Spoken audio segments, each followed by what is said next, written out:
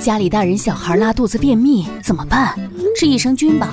我家孩子脸上好多红疹，我给他吃了益生菌。原来这种情况也要吃益生菌。私密困扰反复光顾，竟然跟菌也有关系吗？益生菌是不是真的这么有用啊？到底什么情况要吃呢？酸奶促销，每天两瓶，让肠道更健康啊。喝酸奶就能补益生菌吗？益生菌选择这么多呀，真是挑花了眼。我要选哪个好呢？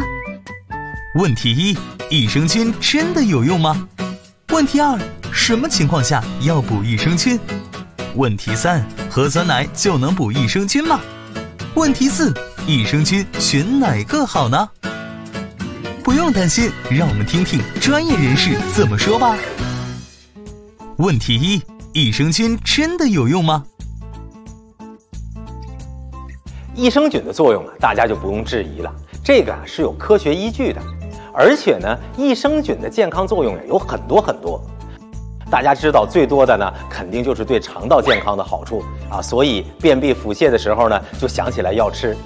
那么另外呢，益生菌呢还可以促进营养素的吸收，比如说对蛋白质啊、钙呀、铁啊等等，还能合成一些维生素，比如说像 B 族维生素啊、维生素 K 呀，啊，再有呢就是一些代谢的问题啊，比如可以阻止脂肪在肠道的吸收，那这对我们心脑血管和体重的管理都是有好处的，而且呢，它对免疫呀还是一个双向调节的作用。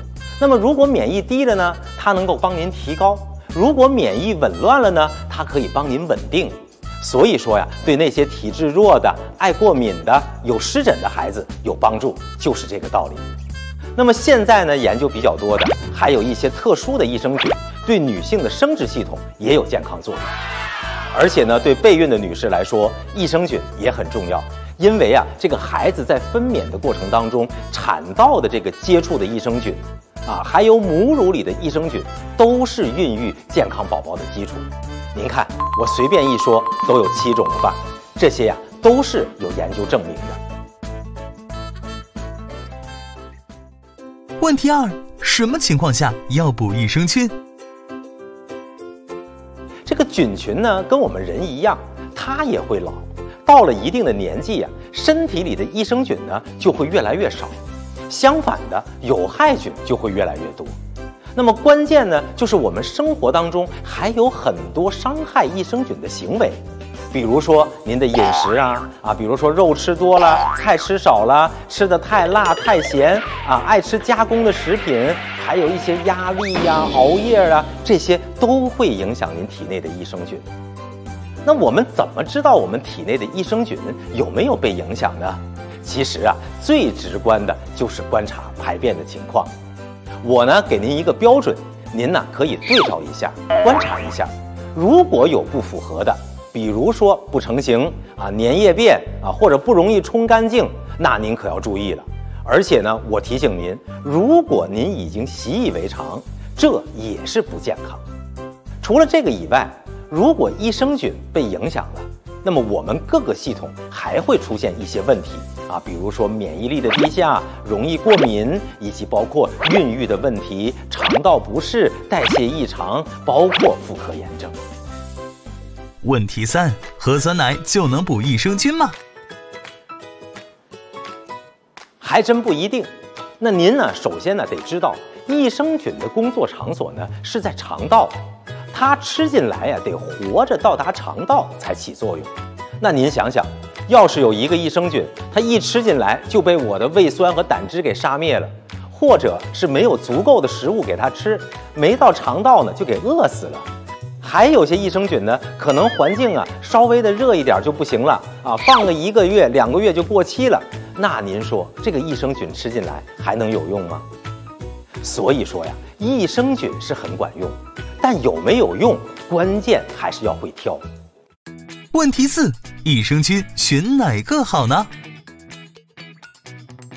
我呢教给大家，这个挑益生菌呢，关键要看三点，就是活、量、效。我们先看第一个，那我们要保证这个益生菌是活的，那这个就要求菌本身的体质要好，那么还得吃得饱。现在呢，对益生菌的筛选呢，又到了一个新的工艺，就已经发展到可以直接从上千个菌库里面直接挑选出来啊，筛选出来这个菌本身它就是耐胃酸、耐胆汁的，那么它呢就可以抗胃酸、抗胆汁，活着到达肠道。然后呢，我们还要给它提供足够的食物，才有活力去到肠道吗？但大家注意，您给菌呢提供的这个食物，那万一要是都被咱们人体吸收了，那不是越吃越胖吗？所以呢，这个食物啊是菌能吃，人不吃，人不消化不吸收，那这样的食物叫什么呢？